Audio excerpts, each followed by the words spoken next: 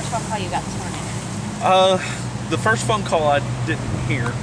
Um, my wife is uh, eight and a half months pregnant or so. We're expecting our first child, and so we were sleeping in the living room because that's where she's most comfortable. And um, we heard uh, banging on the door and doorbells ringing. And so at 3:30 in the morning, you don't expect visitors. So we both walked to the back of the house and called 911. And uh, this is the humor in all this. And I said, somebody's trying to get in my house, and I'm a little worried before I answer the door. And the dispatcher said, it's us. The church is on fire. And I, I walked outside. I, I live just up the road. I walked outside, and I could see uh, the church engulfed in flames. What went through your mind? couldn't believe it. Uh, you know, I wondered if I was still asleep, hoping that I was still asleep.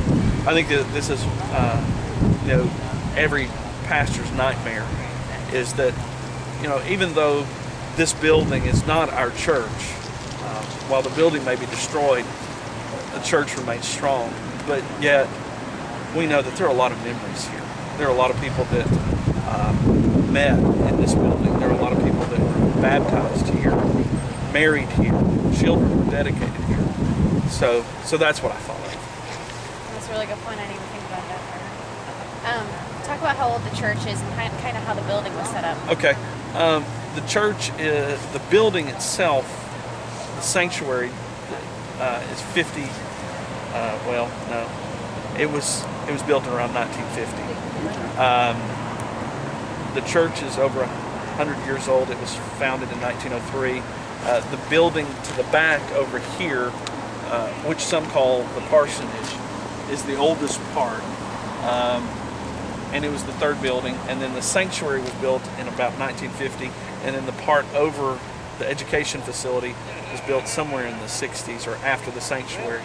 But to me, when I got here, I didn't realize that it was three buildings, and the three buildings just fit together so seamlessly. You know, it's just a beautiful picture of what the church is. So, what did the fire department tell you as far as where they believe it started? The first flames were spotted in the uh, front portion of the building, in the top, uh, and so that's where our sound room was located.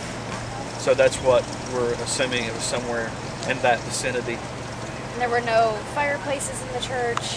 No, no fireplaces. We we No had a, space heaters going. no space heaters. No, uh, we had a floor heater that I unplugged before I left uh, last night after choir rehearsal. So, you know, nothing was. So you Uh, think it's electrical? we think it's electrical. Um, how many square feet is the church?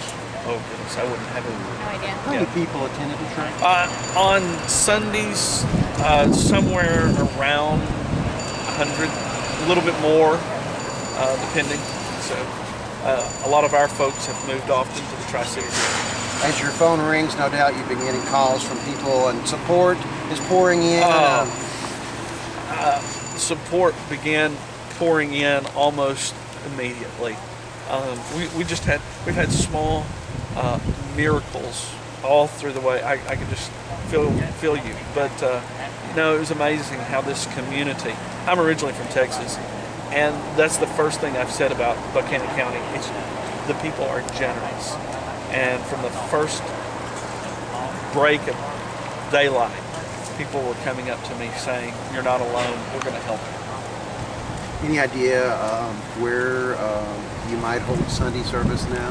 Uh, this Sunday, we're going to be at our neighbor facility in the Booth Center, which is co-owned by uh, Southwest Virginia Community College and the Appalachian School of Law. They're good neighbors to us and have agreed to allow us to have services there so we can have some continuity and, you know, people can park in the very same places that they normally park at.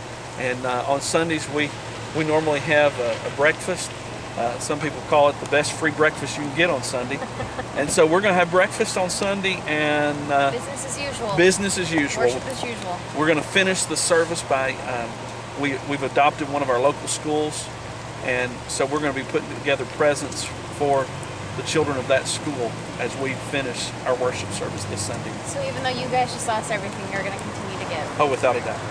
It's wonderful. Talk about what a loss this is, especially this close to Christmas. it's difficult. Uh, it, it points us back that even though you can lose the facility where you worship the Christ of Christmas, really what we've lost are chairs, carpet, pews, and so it's just it's knocked us down, but we're not knocked out. Uh, as I told the people Sunday, and had one of my church members reminded me this morning, it's time to look up and uh, take our eyes off of ourselves and, and put them on Jesus, who was given to us on that Christmas day. Anything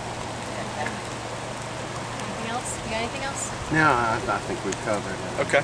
You know, um, Thank you. um, I, we have to ask you this. Did you have insurance on the bill? We did have All right, insurance. good, yeah, good. we did have insurance. That's good to hear. Um, um, I mean, that's that's pretty much it. I can't. Think. Uh, if you got an address or anything you want to give uh, the people uh, that give to, if they want to do a donation. Uh, it's P.O. Box 675, Grundy, Virginia, 24614. Okay.